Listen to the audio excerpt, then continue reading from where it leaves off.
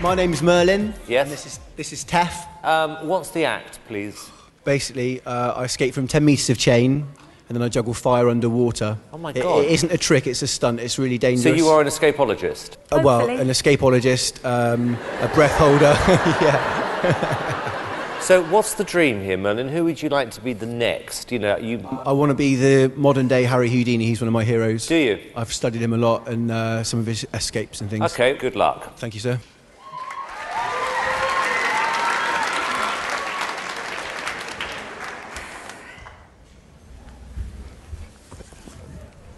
This could go disastrously wrong, and he could really hurt himself. Let's go.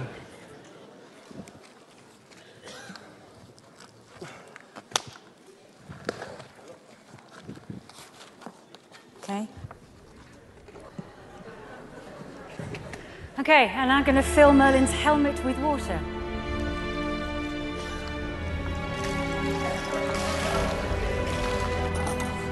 Ted, can you ask if he's all right? Okay. Okay.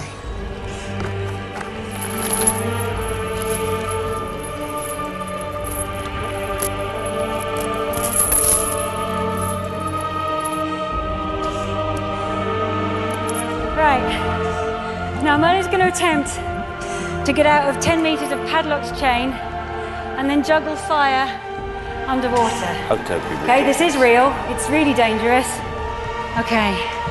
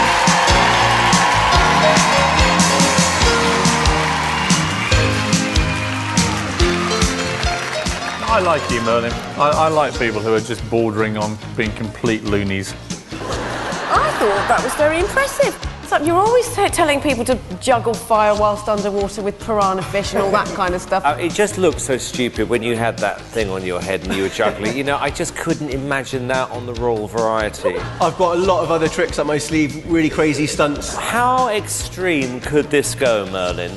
I could die.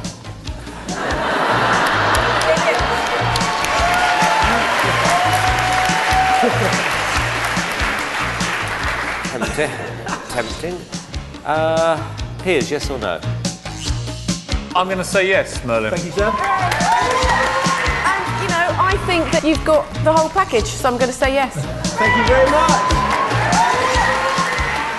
Uh, look, Merlin, you know what? I think you are a complete nut and utter nutcase, but I like you, so I'm going to say yes.